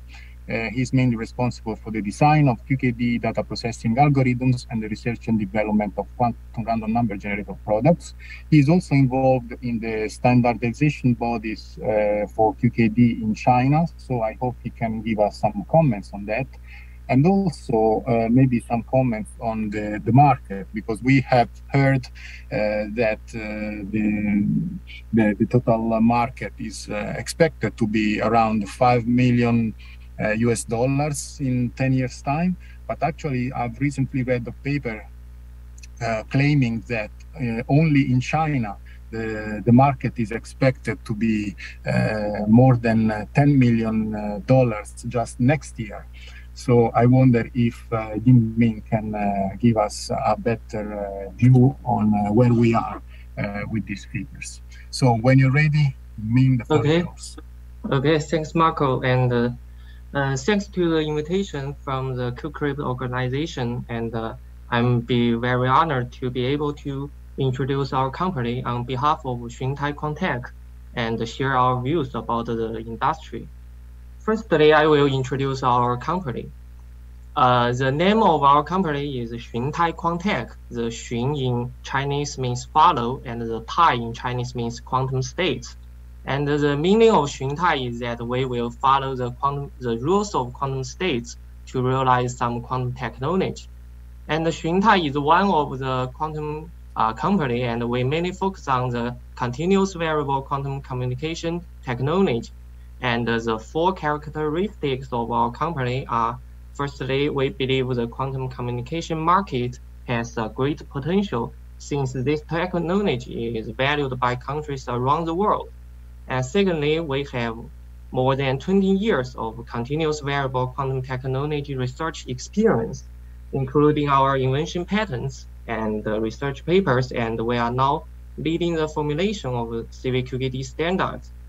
And the third part is that we have opened up the industrial application scenarios, uh, including in the finance, electrical power system, and telecommunication. And last is our technology comes from the Shanghai Jiao Tong University, and our teams are led by the professors, and our members are all have are very professional in both hardwares and softwares of the quantum communication. And second part, I will share our view about the industry. Uh, the data security incidents occurred frequently in recent years, and quantum communication is highly valued by the world. And we believe just in China, the potential market of quantum communication can exceed 100 billion until 2025. The first part is the quantum communication backbone network, and the second part is the private quantum network for various fields such as telecom, finance, electrical power system, and so on. And the third part is the metropolitan area quantum network, and the fourth is the quantum secure storage to protect the data. And the last one is the QRNG chip, which can be equipped in the smartphone, Internet of Things, and the autopilot car. The third part is our core technology that is continuous variable QKD. Uh, the QKD uses the quantum physics to obtain the secure key with the information theory, theoretical security. And the QKD can be implemented by two technical routes. One is CVQKD and the other is DVQKD. And in CVQKD, we use the GG02 protocol and the key information is modulated on the quadrature components of the optical fields and we use the coherent detector, which is widely used in the optical communication to detect the quadrature components. As we choose the continuous variable technique routes, uh, we have two quantum product metrics. One is the fiber-based QKD product line. We have developed the CVQKD series to solve the problem of the key management and the data transmission security and they can be used in the telecom operators, finance, traffic, and electrical power system. And our customers uh, include the telecom operators and the devices manufacturers. The second part is our mobile quantum product line. We have developed the QRNG system, and they can use to protect the data without deploying optical fibers, and they can be used in the cloud computing uh, Internet of Things. As we choose the continuous variable QKD technique route, uh, the advantages of our products are that firstly, the CVQKD can have a higher key rates in the short and medium distance, and is very suitable for the metropolitan area network and the access network. And uh, the components in CVQKD can be integrated and can be realized by the coherent optical communication module, so it can realize the small size and last is the signal in CVQKD can be co-transmitted with the classical signal. So we can use our existing optical network to realize the CVQKD network. And for our QRNG, we also realize the small size and the high generation rates. The last is our plan. Uh, for the product development path, we will gradually realize the miniaturization and chipization of QKD and QRNG and we believe the quantum communication industry is now in the initial stage of development, and we will see the market eruption a few years later. And before the market eruption, we think the researchers in the quantum communication can contribute in three aspects. The first is to promote the standardization of the QKD and QRNG. And the, the second is to miniaturize the quantum communication devices and the last one is to develop the quantum network protocol to broaden its scope and increase the number of QC users. That's all. Thank you.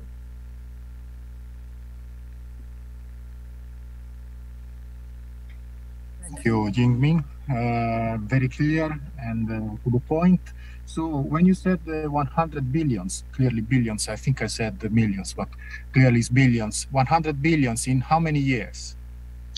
uh, until 2025. Okay, right. So this is um, almost um, one uh, order of magnitude bigger than uh, the most optimistic predictions that we heard earlier on. I wonder if uh, any of the other panelists wants to quickly comment on these numbers, uh, maybe Vanessa or uh, Simone. Um, unfortunately, that should be very quick in case because uh, I don't think we have time to discuss for long. But I can see Simone coming online. Do you want to comment on these numbers? Maybe a comment that is more qualitative. I guess is also a, a self-fulfilling statement what we do today what we say today because the more the industry play together to develop the market the more uh, the market will grow. I guess it's still really in this phase uh, is also something that we can still influence. What is the final target? Right. Uh, i mean for sure uh, so it's very early stage so essentially the the final result is quite unpredictable. Someone asks 100 billion in which currency? I assume it was in yuan, probably referring to the Chinese market, but it's, I uh, guess so. it's, a, it's a good question. Um, if I made a study that uh, all of us as under, I think, as, as got, I guess, range uh, from 1 billion to 10 billion. I guess this is the range of value that uh, I have seen so far and maybe mm-hmm. depending also on how many layers you include because i guess what is quantum communication is uh, okay maybe including quantum the key management yes and then how far you go in the in the layers you know this is changing completely the numbers you get at the end the assumption uh, yes that makes sense so we'll take that as a final figure for for this for for today um, we are a bit over time, unfortunately, not much, much time to, for discussions. Uh, however, I want to give space to any of the panelists in case they have pressing questions to quickly discuss among us with the remaining audience. Well, uh, excuse me, Marco. I, well, the organizer just informed me that since we have so many uh, speakers gathered together, for now. So uh, I think we can give you more time for, for further discussion. So no problem. Can keep on going.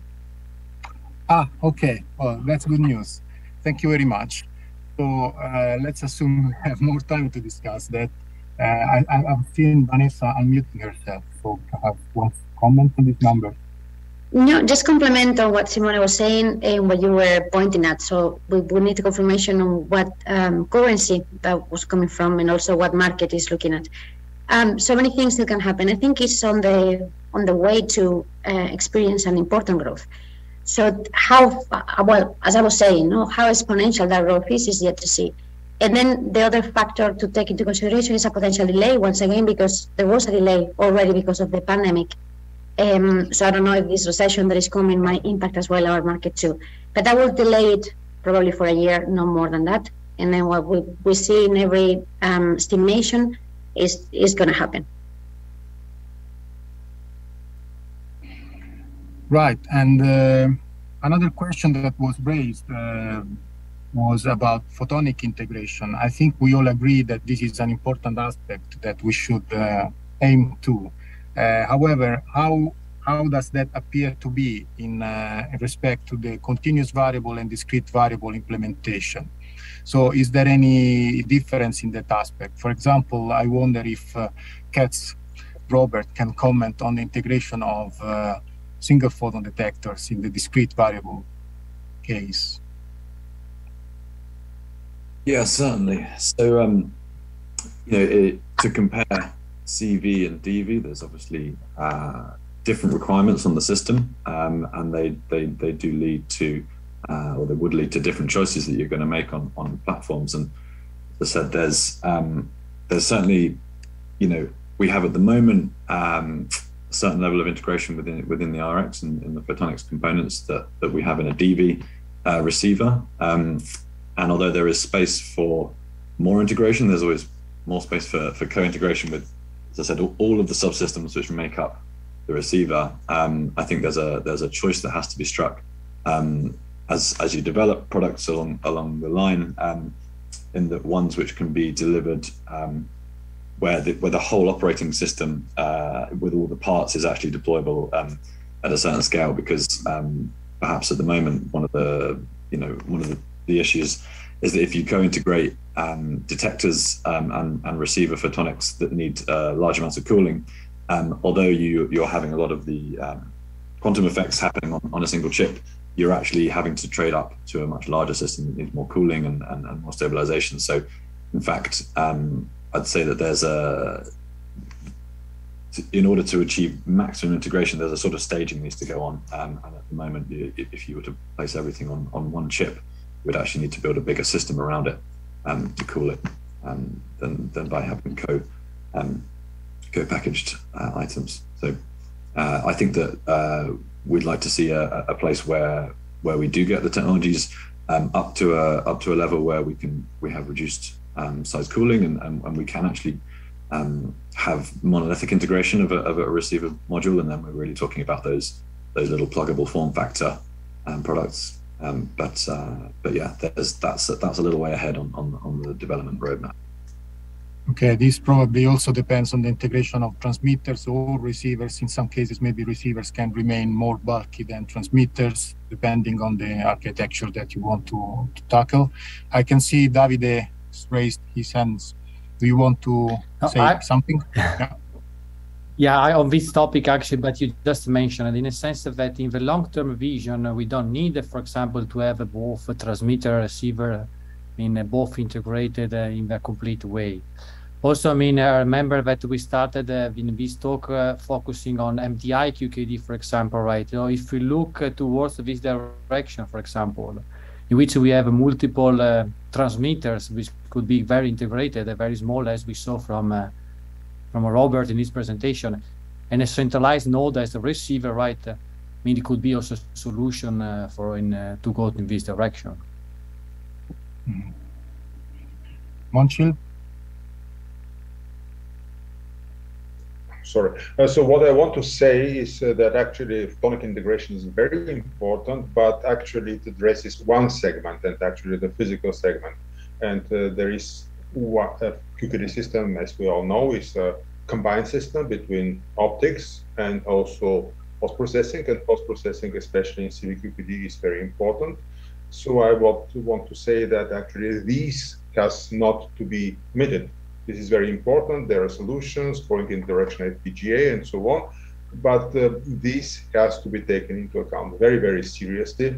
And because I fear a tendency of the community to focus on the physical segment while ignoring the rest, which is not good. I mean, sorry.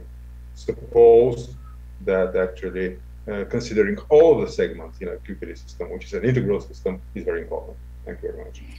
Yeah, absolutely. I think uh, Imran uh, mentioned also the importance of uh, the electronics indeed in this talk. So Imran. Yeah, thank you. Um, uh, one thing I want to, to highlight again is um, if you, I mean, looking back at the presentations, a, a lot of people highlighted uh, photonic integration and uh, I also saw some pluggable modules. Um, and I want to draw a comparison to quantum computing where there's, um, let's say, quantum computing scientists who are now developing hardware platforms um, in the sense that uh, what's the best kind of qubit, what's the best error corrected qubit, and so on and so forth. And there's companies that build the ecosystem around it, like uh, software languages in Python to control these qubits and gates and so on. And I wonder whether that's an approach we could use in quantum communication as well, whether you can have let's say quantum limited quantum operating hardware um, that works as, as supposed to work and it just exposes its capabilities to to an upper layer of software. Um, and whether we could have a, let's say, quantum communication programming language uh, in the same way as the quantum computing people do in the future. That's definitely a nice suggestion. Uh, Jean-Sébastien? Yeah, thank you. So I had a remark more on um, on the coexistence and multiplexing between CV and DVQKD. So what, what we've seen lately is that um, it doesn't seem that CVQKD necessarily has an advantage um, when we see the, the performance we can achieve with DVQKD in the, especially using the O-band. Um, so is there, is there any comment from, from the CVQKD community here or, or DV of course, but uh, I think the, the multiplexing and coexistence is, is, is not necessarily a major uh, advantage of CV. Um, Um, I could comment if you like. Um, so uh, I think it's an open question. Um, so for, for the multiplexing part, uh, if you have a local oscillator in CV, it acts as a spectral filter, which is nice, which doesn't mean that uh, DV cannot do the same using uh, um, a filter. But the question is, um, what will be the implementation of the filter? Will this be a, a, a big device? I mean, at least the, the narrowband filters that I know cost a few thousand euros and are kind of big things that are, let's say, on the order of a mobile phone um, with a screw attached to it, so you can change the wavelength of the filter if you have a C-band system, or will it be something that can be integrated and can be tuned to the right uh, frequency? It's open to me. Maybe somebody else from the audience knows, but I think the technological integration of the filtering is is an issue, uh, and uh, yeah, maybe you could comment on that. Could I maybe comment on, on that, perhaps? Um, so I'd argue that filtering is a very established thing with fiber Bragg gratings. So this is where you write a periodic structure into a fiber. So the size is literally that of a, of a fiber. So it's absolutely minute. Um, so for fixed wavelengths, the size is the same length as 10 centimeters of fiber. So it's really not a problem at all. And you can get a huge, great, a great deal of versatility in terms of bandwidth, positioning of your wavelength. Um, so that's, that's not a problem, I don't think, technologically. In terms of tunability, you're right, that obviously means a little bit more complexity, but people have shown that you can tune fiber Bragg gratings with strain or with temperature relatively easily. So, so again, we're talking very compact systems that, um, yeah, I, I, really don't think would be a problem technologically in that sense. Yep, th thank you. That was new to me. I mean, Yeah, thank you very much. Uh, so, in fact, what I wanted to point out, of course, as Vanessa already pointed out, it depends what system, where, and so on. But there are some fallacies. For example, there is a fallacy that DV systems typically uh, have a longer range performance, which is not true.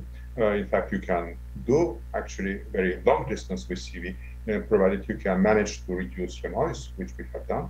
Uh, so another thing is, of course, um, the CV systems, as already pointed by many people, are good at, let's say, uh, having different frequencies and uh, multi-frequency and actually switching by frequency, by direction is very native uh, and uh, together with uh, co-propagation in a C-band is very native to CV. So it appears uh, that there are significant advantages also in this respect. I wouldn't say that actually that there is at the moment a clear winner between technologies and maybe different technologies could be applied to different domains. Yeah, thank you very much.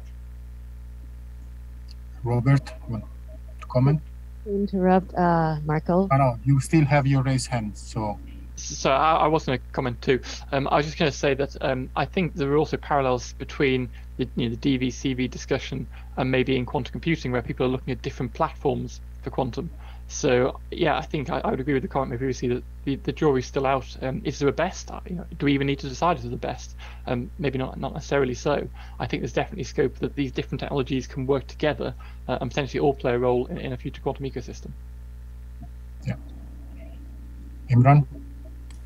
Yeah, um, good cue um, because uh, I wonder whether there would be uh, protocols that are compatible between manufacturers in the future this would be one for standardization in the community. I mean, why should uh, a KeyQuant system care whether there's uh, another receiver from another CV company on the other side? Or, I mean, if you look at transmitters for CV and DV, they're pretty much the same, right? It's amplitude and phase modulation. Um, so it would be just a receiver that's different. Of course, sync is, is a topic, right? There might be uh, proprietary synchronization and so on, but in the end, uh, having a receiver that relies on some standardized protocol, why not? And uh, as such, uh, let's work uh, towards that. Yes, indeed, that's very interesting. Of course, standard. This is what standardization is for, isn't it? Uh, but also, it reminds me of the DIY, do-it-yourself uh, QKD that was suggested by uh, Charles Bennett, uh, I think a couple of years ago in QCrypt, where essentially you take all the transmitters that you like, all the receivers from another company, and then maybe you plug them all together to make your own system. And maybe you can trust this better than a system that is entirely made by one single company. Uh, I can see there is one question from the audience, if I am not wrong. Um, yeah. from the organizer. Um, I would love to see the discussion going on, but uh, we're running out of time. So probably, uh, would you like to wrap up in probably five minutes? Five more minutes? Okay, thank you, Marco. Okay, yes, thank you, no problem. Uh, Jean-Sébastien, I was also to say, effectively, uh, I think it's important we we are able to mix the different vendors, but probably short terms, what we see more happening is um, mix, mixing so various uh, pairs or, or, various links into to QKD networks. So and connecting the different islands of, of QKD networks that are deployed, I think it's effectively in, in benefit of I think the community overall. Um, maybe before mixing Alice and Bob from different vendors, but uh, uh, so that's just a comment to to to, to Imran, um, and thank you for this uh, session. Okay, um, so uh, we still have four minutes, um, and I can see two questions from uh, the chat. First one, I think, is a difficult one. Uh, however, let me read it. Something that without quantum computers, QKD may not be a necessary technology. Could you discuss the relationship between the development of QKD and its dependence on the development of quantum computers. So perhaps I can turn this into a more industrial question like uh, would you still be uh, chasing uh, QKD and uh, trying to penetrate the market if you know tomorrow that quantum computers are not possible? There is a no-go theorem for quantum computers. Would you abandon the QKD market or would you still be uh, in it? Imran. Um, I, I, want to tackle it uh, from the way the, the question was originally written. I, I, I see your point, um, but uh, let me try to, to, to make a point of my own. Um, Vanessa men mentioned in some of the NIST developments that uh, PQC algorithms have been developed, right? And we're just uh, at the inception of quantum computing. So whatever uh, can be correct in the future, we don't know. Um, but the, the, real point being uh, both PQC and QKD need uh, hardening, right? You develop something, uh, you have to check that it's really secure. For QKD, it's the boxes that have to correspond to the security proof, and for PQC, it's the algorithms. But uh, PQC relies on the fact that um, some mathematical problem cannot be solved now or maybe sometime in the future, but we cannot be sure. So uh, we have seen this uh, cat and mice game in all of human history for cryptography. Um, and I wonder if it's going on like that. I think the fundamental difference with QKD, and now this is the hypothesis that can be discussed, is uh, that it could converge in terms of security. Because you have to only do it uh, right once. We don't have to invent a new protocol because the security is in principle there. We just have to build a secure device. And I find this very interesting because this could allow for uh, making this very uh, cheap and ubiquitous. So mm-hmm. uh, this could be an aspect of uh, not caring for the quantum computer at all, but realizing that QKD is a new type of security that would converge in terms of uh, cost and uh, market um, um, yeah, realization. Okay, uh, Vanessa, just 30 seconds because I don't think we have time to listen. No, it's okay. I have to add anything else on what Imran said. It is perfect. So the one question I guess I have for this question from the audience is, are we sure that somebody hasn't already cracked AES protocol, for example? We actually do not know. So there might be um, maybe somebody is already going to college now to learn mathematics and becoming the person that will crack that in a few years' time. So that's the reason why even if quantum computers weren't there, um, if they stop tomorrow the the research and development process, we would still pursue the commercialization of a technology that it just protects our communications because it relies on quantum physics and that of those law, laws. There is no smart person that can actually track them. Yeah i like that. Thank you. And Momtchil final so word. shortly, yeah very shortly just i heard uh, not very recently from a telecom operator the argument actually there is software security there is hardware security let's combine them we will be better off thank you Yes, very good point. So merging and not uh, splitting uh, technologies for a, for better security. That's great. Uh, so I don't think we have time to uh, answer Andreas Poppe's question about uh, roadblocks for deployment. Please answer them in the Uh, in the chat if you have time and chance to do it. Otherwise, uh, Andreas can write directly to some of you and uh, have an offline discussion. I can see Jean-Sébastien is typing the answer. Uh, from me, I want to to thank all the panelists uh, today for the nice sec- session and uh, all the great presentations. I hope and I'm quite sure that this was useful to the audience. And I hope that next year we can also expand the industry session to maybe a couple of hours to have more time for discussions. Thank you all very much. Have a good continuation of your day or, your, or, or of your night. And uh, I hope to see you all very soon. Bye bye. Thank you. Thank you. Thank you. Bye. And thank you speakers and thank you for spending extra time with us and uh, for further discussion. Thank you.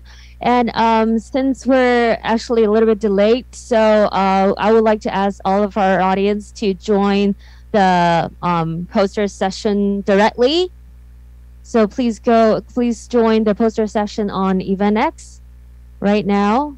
I think uh, the presenters are waiting for you right now. So uh, please log on to eventx and um, find your presenter accordingly. Thank you.